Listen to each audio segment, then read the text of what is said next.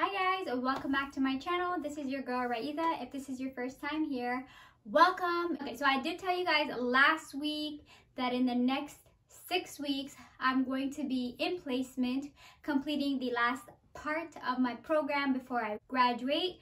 So I did finally start my placement this past Monday at 9 a.m. So I walked in and I immediately introduced myself to the two ladies that were sitting at the front desk of the clinic. I let them know that I was a student here from the college, here to do my placement.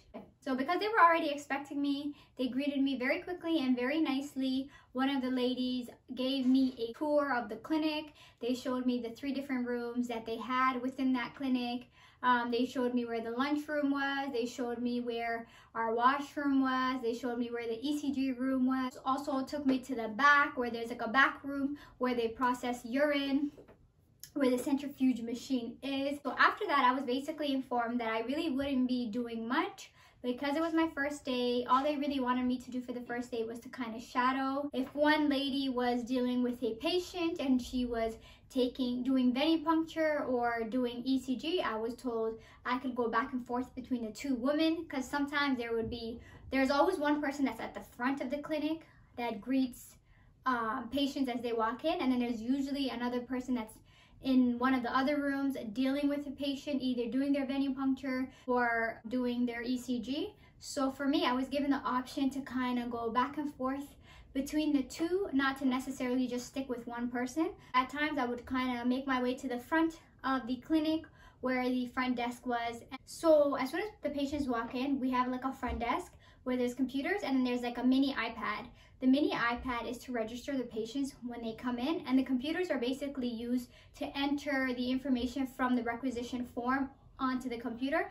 Unfortunately, I'm not able to use the computer and I'm not able to input any information on the computer because for security reasons, every um, every employee has their own login information and I'm not able to use another employee's login information. If anything goes wrong, it would be their fault and not necessarily my fault because it wouldn't be my it wouldn't be under my credentials it would be under theirs. So for security reasons i'm not actually able to use the computers. So the only thing i was really able to do is when a patient comes in and they're at the front i basically would take their health card verify that they're still at the same address that's showing up on their requisition form. Whenever I would look at their requisition form, a lot of the times they had a test for glucose. So naturally for glucose, for most cases, you have to be fasting. And if they were, I would typically ask the patient, are you fasting? And if you are, how long have you been fasting for? And so however long they've been fasting for, I would kind of write that down on the requisition form. That's pretty much what I did at the front desk.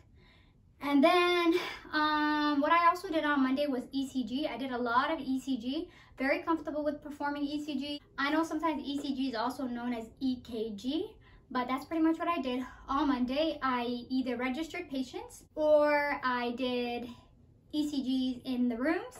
And with the ECGs, it was pretty much spot on in terms of how I learned. So for ECG, it's 10 leads altogether, six on the chest, seven, eight, two on the arms, one on the right arm, one on the left arm, one on the left leg, one on the right leg.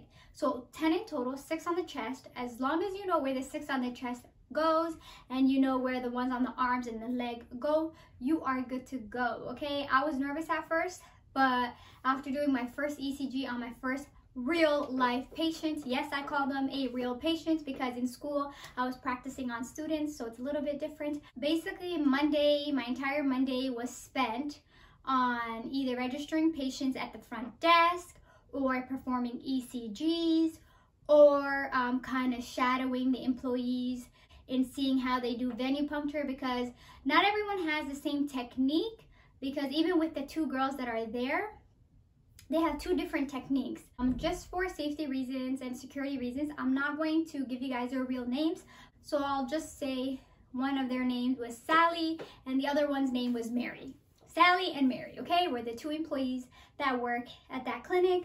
When I tell you guys, very, very, very sweet girls, very, very helpful. One is a bit older, I would say in her 50s, and the other one is in her 30s. And the one in her 30s, her name is Sally, and the best part about her is that she actually graduated from my program in 2015. So it's kind of nice to connect with someone that has shared the same experiences that you have.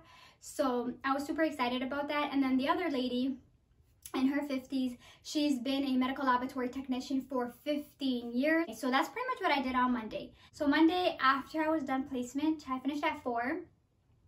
I ended up going out to go eat with a group of friends. We actually went to this buffet. I had this Asian buffet, amazing food. But when I tell you, when I got home and I got sick, I got home and I got sick. And when I say sick, I mean food poisoning sick, as if the week prior to that I wasn't already recovering from a cold. And then here I am now getting food poisoning, which basically sucked because I was not able to go back to placement on Tuesday. I wasn't able to go back on Wednesday and I wasn't able to go back on Thursday.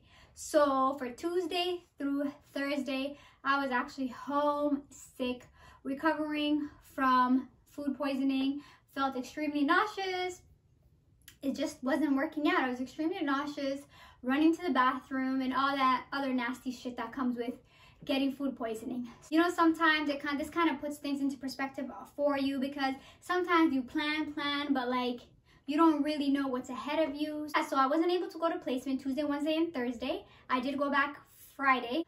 What did I do on Friday? So Friday, I did pretty much the same thing that I did Monday. The only thing that was different on Friday was that I got to work with urine. Now, when I say work with urine, I mean I was taught how to process urine in the back. And when I say process urine, I mean, you know when a patient comes to a lab or a clinic and drops off their urine sample? But what we do is we actually separate that urine into smaller tubes. So before that urine gets analyzed, before that urine gets sent to the big lab, I'm gonna show you guys a video um, sometime next week. In my next week's video, I will show you guys a video of what I mean by we separate the urine. So that's basically what happens. We separate the urine in the back. Depending on what the urine is being tested for, you'll choose the appropriate tube and then separate the urine into those tubes. And then once the urine has been separated into those tubes, into the appropriate tubes, the remaining urine will typically get flushed down into the sink. And that's it. We don't even use those big containers. We just throw those containers into the garbage. Obviously, before we get rid of the container, we do cross out um, the patient's information with a big black marker. So patient's first and last name and all of their personal information is completely crossed out and then it goes into the bin. So that's pretty much what I was doing. I know what I'm saying might sound a little like, what are you saying, girl? We're kind of confused. But I will show you guys a video next week so you kind of have an idea of exactly what I do. And that's pretty much what I did Friday. And let me tell you guys, Friday, the weather was beyond cold. I believe our weather on Friday was negative 24 degrees. So there was nobody coming to the clinic. When I tell you guys, I think we were getting one patient every two hours.